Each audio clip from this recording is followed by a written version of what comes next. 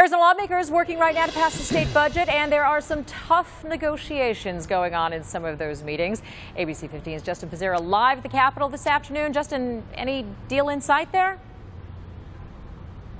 Oh, not yet, Faye. I can tell you, though, that these lawmakers expected to work through the night. The Senate president even sent a letter to some of these lawmakers telling them to expect to work on Saturday, possibly even Memorial Day. Now, we do know that some of these talks here at the Capitol, they have been pretty tense uh, behind closed doors. Late last night, several Republican lawmakers, they were caught on an open mic at the Capitol talking about how they would punish two of their fellow lawmakers who they believe are holding up the budget from getting passed.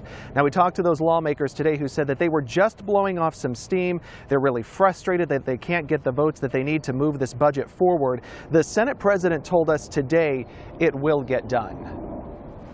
You know, this is always a, a, tough time every year that we do budgets and a lot of stress. It's the end of the session, and um, so we'll just keep going. We'll make it.